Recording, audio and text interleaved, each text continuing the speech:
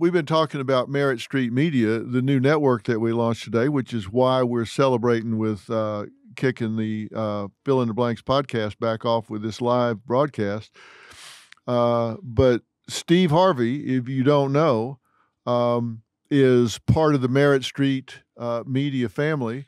In fact, uh, he's an equity partner in Merit Street Media. He and I are partners in the in the network here. Mm. And uh, Mm. I, I called Steve uh, some time ago and said, "Hey, let me tell you what I'm doing, and uh, you need to come do this with me." And uh, I described it to him. And what do you think when I called you about this? You- Honestly, man, Yeah, I mean, first of all, I was floored because I mean, y'all look look, look at me. Dr. Phil calls you. Dr. Phil McGraw. That's who y'all call it. I call him Philly. Philly calls me. You know his track record. You know what he does. And he says, Hey, man, you know, me and you, we've been friends for a long time. I got something for you. I want you to come with me. I want you to be an equity partner in this deal with me. And I want you to, this is what we're going to do. We're going to open up a TV network and we're going to produce TV. And I want you to have a place where you can bring content and ideas and how you really think and feel. I want you to come do it. And I went, I went, okay, first of all, are you joking? you got to be kidding me, right? Okay, you called me. And so first I'm thinking, okay, okay. First, uh, you know, here the, here the crazy part. I know you didn't need no money. That was so that was cool. I was relaxed right there. Cause this ain't a dude that, you know, Philly, we don't have a relationship where you you know how you got people call your house and you go, oh, what the hell they want? Well, he don't want no money. So I said, okay. And then I thought about it. And then I said, so what are you saying, man? I said, hey man, can you send me something over? I'm within five minutes, he sent over a whole presentation. I mean, with so complete pictures of the studio he was building and what it was gonna look like when it was finished. And I said, Is this dude for real? So I said, So Philly, you just want me to join in with you? He said, Man, I ain't thinking nobody else. You it. You it. And I hung the phone up. I called my wife. I said, Baby, I just got a call from Philly. She said, How's Robin doing? I ain't talk about that right now. Listen to me. Robin had on some shoes the other day. I was going, "Wh- where we going with this? What, what what's happening? And, and and and and next thing you know, I said, this is what he want me to do. She said, okay. So when you going out there? I said, baby, you I'm just this is what he want me to do. She said, Steve, when you, it's Dr. What what you what you want me to tell you? You know how many stupid things you've done? And I went, oh, you that's where you gonna go with it now? And so that was it. And then he sent the stuff over and I, I I couldn't believe it, man. In all honesty, this is what you call favor. This is man when you going along and God just do a solid for you. This one you just this is see, I can't give nobody credit for this except God because it was no doing of mine. It I didn't call you. I didn't say, hey Philly, what you working on now? I got a call out of nowhere. It was you. Look, we see each other on vacation. We sitting out talking. This dude just called me and just here, I want to do this with you. And I was just, I, I was honored, man. Really, really just honored, bro. Well, I, and the reason I called you, and as I've said to you, nobody else. There, there's not anybody else on the list. It's just you and me. I mean, that's it. um, because uh, I, I said I, I take this real serious, and there is I, I, you and I have a very um, aligned value system uh, from the very beginning. And I've this is going to sound like mutual admiration society for a few minutes here, Mhm. but uh, people know know you from what you do and what they see on the air. But I know you as a real person. I know you as a husband and a father Mhm. and uh, a, a real person away from the camera and who you are and what you believe and what you've struggled to overcome and I, I, I know who you are and I know how much you have to offer uh, to this country and keeping this country on track and online and and I, I didn't name this network by accident. I, I didn't reach into a bag and pull out a Mm. name, Merit. This it's Merit Street Media, a- as you know, and I think this country is built on hard work and talent and added value. And I, I know that about you. I've known that about you for years and years and years.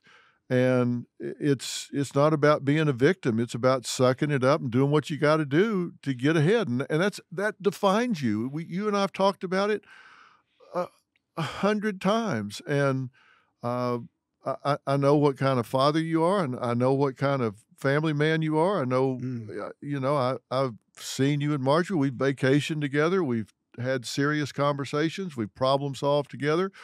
Uh, we've fought him off at the gates together. Uh, you know, so uh, I thought there's this is somebody that uh, ha- we have shared life experiences and and shared values. And I said, man, this is somebody that uh, I, I'll go in the foxhole with, and that's why I picked up the phone and called you.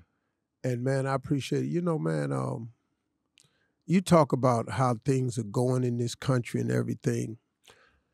You know, look, man.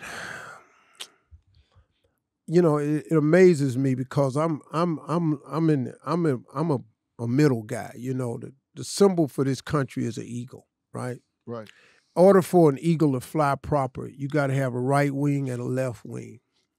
I don't go all the way with what nobody say. I don't. I'm not really the far right guy, and I sure ain't the far left guy. You know, because I like to get it, man, where I care about my family. I care about my grandchildren. I care about my kids, man. And I'm trying to figure out the world that they're gonna be in if we keep going at the pace we're going. Can I tell you something? I saw online that was really kind of crazy to me. You know, because we have the issue now. We got all this pronoun picking, right? That's cool. But this was a guy, I saw this online that really kind of made me, I, I, I laughed, but it threw me. Had a little boy in front of this table, and they put two Oreo cookies in front of him and put $500 on the other side. It told this little boy to pick. And that little boy was looking at them cookies and looking at that five hundred dollars. And let me tell you something, man, he was ripped open. I mean, he was gutted because he them cookies and that five hundred, he couldn't quite figure it out. So they doubled down and they put four Oreo cookies in front of him and thousand dollars. I saw this little boy, he had made up his mind. The ripping was over. It's it's a done deal. Damn it, four cookies. He picked them four cookies. He was through. Y- You had solved it for me. The money or the cookies. And then a lady came up and said, and this is why kids don't need to be picking their sex at school. And I laughed, but that hit me like a hammer, man. I'm finna say, where we going with all this? Hold up, man. We got to slow down a little bit.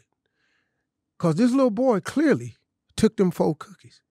Yeah, the thousand was right here. You know the thousand, you could have bought how many packs of cookies? You could have got a bike. Boy, you could have got yourself some new school clothes. You could have bought the girl down the street some cookies. You could have bought the Girl Scout box of cookies. You know how many girls you'd have had after that? That boy picked them four cookies. And I said, man, that's that's what we got to start thinking about. And you know, man, I'm okay with everybody making whatever decisions they want to make. But you got to be okay when somebody has a counter now. You got to be okay with a counter too. You know, if if you're free to think and feel, that's fine and dandy. But you got to be open to the counter now, because you you can't publicly think and feel one way and expect publicly not to be thought of another way. And I, I just kind of look at stuff like that, man, and I think it's a fair to be able to talk about stuff like that and say it out loud without, like you say, without cancellation. Because I ain't trying to cancel nobody. You're an adult person, man. Do you? But we got to take a sharp look at where we letting our kids go. Well, I couldn't agree more. Uh, and I, I think that we're in a real bad spot when we can't ask questions without getting labeled as a hater or some kind of phobe. We're in a real bad spot when we have people so afraid to speak their mind or ask questions or disagree uh, for fear that they're going to get they're going to get canceled. And I always thought about college as somewhere you went to hear other ideas, mm. Or you you you went to the town square back in the old days where you, you had different points of view and you you went to hear what they were. Now that's not the case. If somebody disagrees, they get shouted down. They call it the heckler's veto. Mm. They're gonna they're gonna shout you down where they don't hear the other side. And what I want to do at, at Merit Street is I want us to own the debate lane. Look, this is where you can come to talk about both sides of an issue and then let people make up their own mind. Yeah. That's what I want our news department to do. You know, you, you turn on one cable news and you hear everything on the right wing. You turn on the other, you hear everything on the left wing. How, here's a novel approach. Let's tell people what happened and shut up. Just tell them what happened and then shut up and let yeah. them make up their mind about whether it's good news or bad news. Yeah. It's an insult to people. We don't need to tell people what to think. We need to tell people how to think. We don't teach kids how to think anymore. We don't teach critical thinking. Let's teach kids how to think instead of what to think. Let them decide what they think. Let's just teach them how to do critical thinking, how to reason their way through something and let them decide what they think. They don't need to be told what to think. That's what's happening in college right now. We're, we're teaching kids what to think instead of how to think. We need to teach them how to go through the thought process. Yeah. That's what's important. Yeah. Yeah, man. We, we we I just want to be able to, you know, look, man, if you have a difference of opinion from me, I'm fine with that. I'm I'm really really cool with that, man. You you don't got to think like me, but I ain't got to think like you either.